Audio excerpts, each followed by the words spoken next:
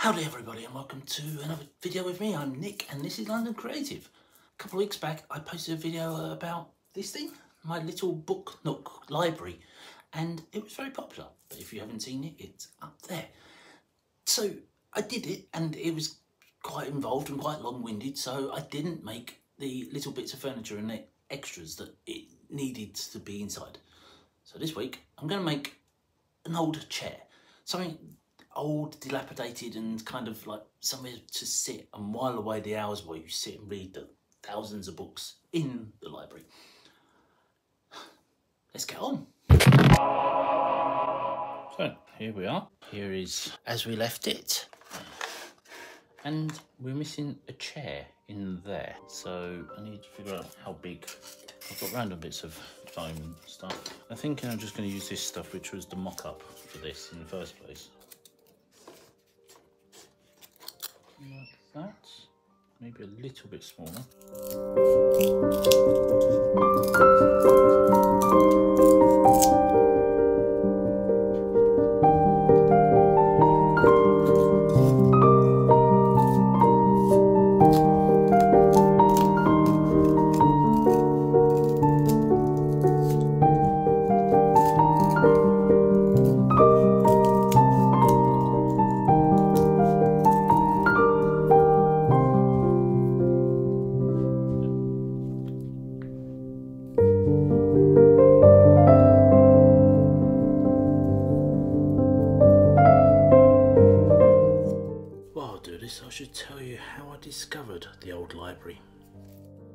I had walked that corridor a thousand times, a thousand ways, but never had I seen that door. But that day, it seemed to stand out. Perfectly ordinary, perfectly plain. Just a single flat panel of old lacquered wood. Except this one stood slightly ajar from the rest. I hooked my fingers through the edge of the wood and felt the hinges give, and the door became just that. The door allowed me access to what lay beyond. I pulled and the hinges creaked like an old crone crying out, finally giving up her secrets and revealing them to me. The creak of oh. rust and metal rubbing echoed throughout the narrow walkway of the old house, and beyond, a wonder to my eye. As I stood between door and frame, I spied an old bookcase, and another, and another. Rows of them lined both sides of the narrow room another corridor of sorts, much like the one I just left behind. On both sides of the thin room, stacked floor to ceiling from the entrance to the back wall, and all I could see were books. Old books, new books, leather-bound tomes with gold ornate script, contemporary novels with colourful covers displayed and tucked away, wedged on top of each other. I dared to move, crossing the threshold and into the secret world within, a floorboard beneath my unshoed foot groaned and creaked in protest, as if agreeing with the old crone of a door that I was not meant to be there. This place was not mine. It was a secret not to be revealed.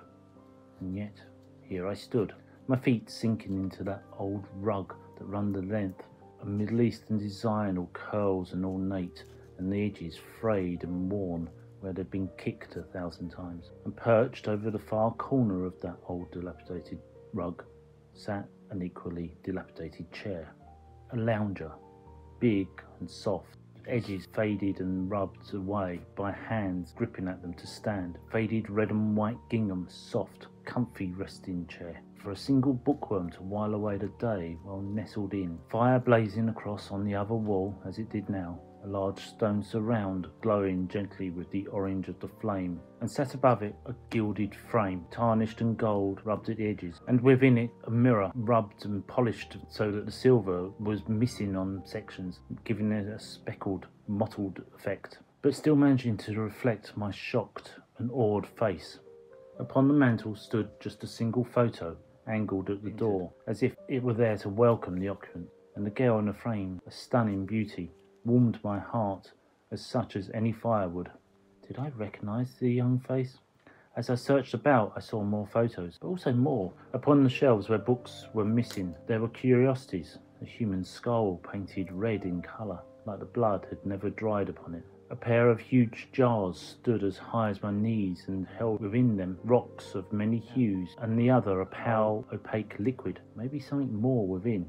I did not care to find out what.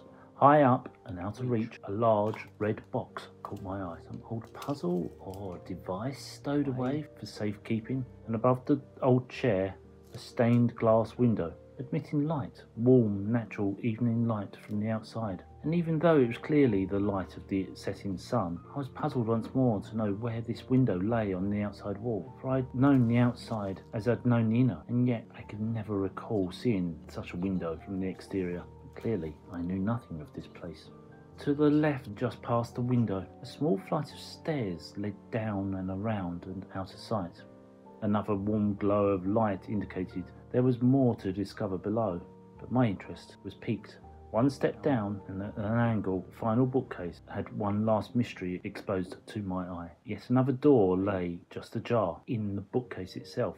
One book pulled out a lever, a latch, mechanism to release this secret and admit the passer through. My hand pressed and pushed, opening it just a little more to seek what I could find beyond, and I climbed through to my ever growing surprise, I was greeted by a stair, long, tall, twisting spiral of wrought iron and wooden carved handles, curved up to a light from a skylight above, and clearly yet another undiscovered room. My feet were eager to seek out the next mystery, and in my haste to climb and to oh, discover, and tripped awkwardly up the metal steps.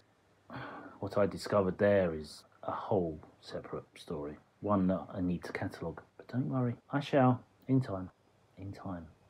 I shall tell you what I found at the top of the spiral stairs. There we are. One old dilapidated sofa or armchair. It's a bit big for what it was meant to be, but it works. It's a, it is that old worn out. The arms are worn. The covers are falling off and all of that. But it, it suits that old wooden library and the perfect place to sit and tuck up your feet and while away the afternoon reading a big old book. Maybe one day that'll be my book, but for now it still needs to be published. So we'll come to that when it happens. But yes, I hope you like this. I hope this was fun. A little sofa and the story that goes with it. And of course, that now leads to making other things like the staircase or the, the room at the top of the stairs. Maybe, maybe in time, maybe soon. So if you did like this, give it a thumbs up. Leave me comments down below. Tell me what you like. What If you've made this and you've got a picture of it, then put a link to it and show me or tell me what else to make or what to build. And if you like um, the diversity of this channel, two channels in for the price one, two, nine, whatever. You know, in London, being creative, sometimes out walking, sometimes with a dog, sometimes cycling, climbing, who knows? all manner of diverse things, things that I'm passionate about, things that I like to do, things I like to share with you. So if this is entertaining and fun to you and you like a bit of diversity, then go ahead and click subscribe down there, that little red button. Go, go and click. And then come back next week for something completely different. And so until then, I'm going to put the chair in the library and uh, go and read a book. Bye.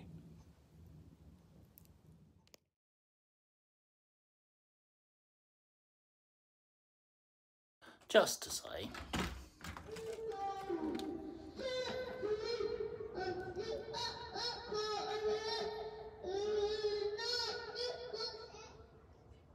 that's the noise I've been having to deal with while making this cushion.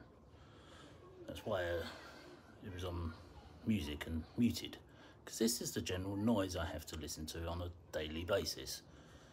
This is a two-year-old child with a karaoke machine. And the people that own the child are oblivious to this noise. They don't think he's doing anything wrong. how many times I stick that together, still keeps falling apart. Uh,